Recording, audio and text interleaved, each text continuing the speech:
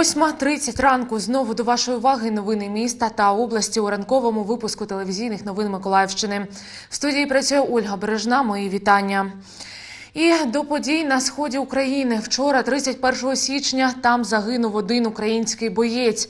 Як стало відомо, це наш земляк, навідник 79-ї окремої десантно-штурмової бригади Ян Пуцулай.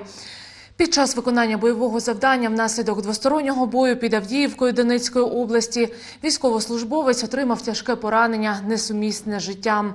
Хлопцю було 22 роки. Родом він з села Калабатине Березанського району. На військовій службі за контрактом перебував з 2016 року. У загиблого залишилася сім'я, батько та мати.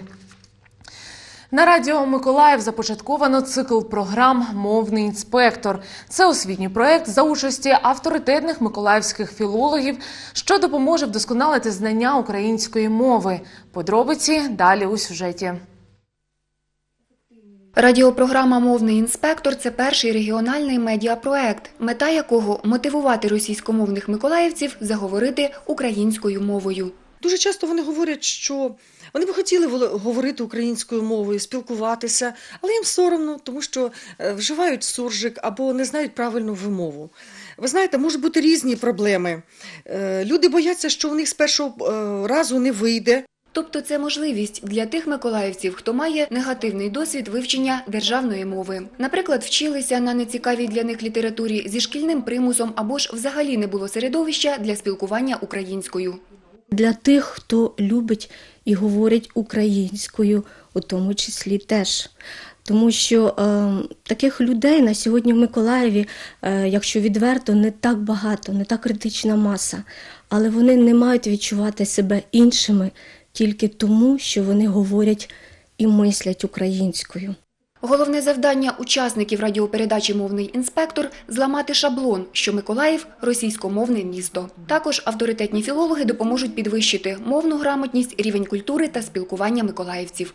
Ми пропонуємо такий своєрідний стартап вивчення української мови практичного формату, те, що потрібно людям сьогодні, зараз, і це те, що допоможе російськомовним громадянам, напевне, вивчити українську мову на такому рівні спілкування. І це дасть змогу нам е, нарешті в Миколаєві е, стати білінгвістами. Програму Мовний інспектор слухайте на радіо Миколаїв 92 FM щопонеділка о 20.30. Тетяна Бакуцька, Богдан Іванов, телевізійні новини Миколаївщини. Ароматна кава та невимушена атмосфера. В одному із миколаївських ресторанів співробітники патрульної поліції зустрілися з містянами. Про що говорили, та які враження від зустрічі у людей. Дивіться далі. Володимир Луньов про зустріч дізнався із соцмереж. Чоловік розповідає, давно хотів зустрітись з співробітниками поліції неофіційно, адже в нього накопичилось чимало питань до патрульних. Каже, попри те, що є досвідченим водієм, на дорогах Миколаєва не відчуває себе в безпеці. Водопроводная. На центральном рынке очень часто люди, э, перепрыгивают через забор, тоже под колеса бросаются. Ну, Там долго стоять не надо, 5 минут постоять, как бы человек 10-15 будет перелезать. Причем это не только молодые, там бабушки, дедушки, которые еле-еле ходят с сумками, но они лезут через этот забор, не хотят идти по- через переход. Э, Вот. э, Рюмина, проспект Ленина. Вот. Нарушение рядности, постоянное кольцо Пушкинское. А от пішоходи скаржились на водіїв. Кажуть, ті залишають свої автівки на газонах. Багато людей, що прийшли, нарікали на роботу водіїв маршрутних таксі. Їх звинувачили в небезпечній їзді. От Валентина Цепляк запропонувала співробітникам поліції співпрацю із своїм благодійним фондом. Чим саме займається і в чому полягає її пропозиція, жінка не розкриває, але каже, від такого формату зустрічі в захваті.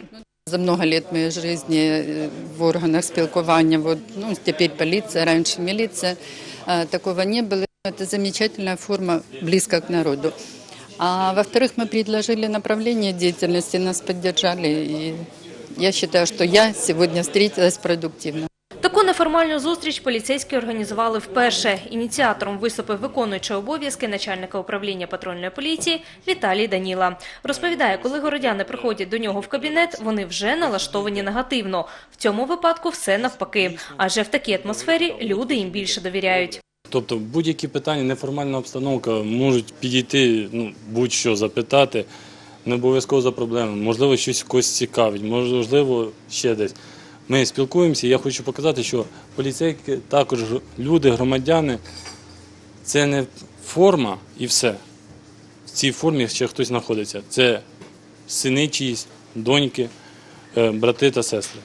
Це такі ж громадяни міста Миколаєва, як і інші громадяни. Ідея себе виправдала. За дві години на зустріч прийшло зо три десятки городян. Тож такі заходи відбуватимуться і надалі, зазначили співробітники поліції. Євгенія Голубова, Богдан Іванов, телевізійні новини Миколаївщини. А ось у Південно-Африканській Республіці відкрилася перша у світі персональна виставка свині художниці під назвою Хрю. Свиня на прізвисько Піхкасо малює картини кілька років. Її власниця, правозахисниця Джоан Левсон, врятувала тварину зі скотобійні ще місячним поросям. Пройшло багато часу до того, як я зрозуміла, що їй чомусь подобаються художні пензлі. А далі я лише заохочувала її таланти, і спостерігала, як вона розвивається в розумну тварину з власною індивідуальністю. Витрати Джоан на пензлі окупилися повністю. Тепер поціновувачі мистецтва платять за картини Піхкасо від 2 до 4 тисяч доларів. Роботи свині виконані в стилі абстракціонізму та експресіонізму.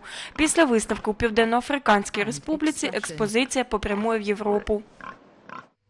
На цьому ранковий блок телевізійних новин Миколаївщини завершено. Зустрінемось по обіді о 13.30. Обов'язково дочекайтесь, новин буде набагато більше.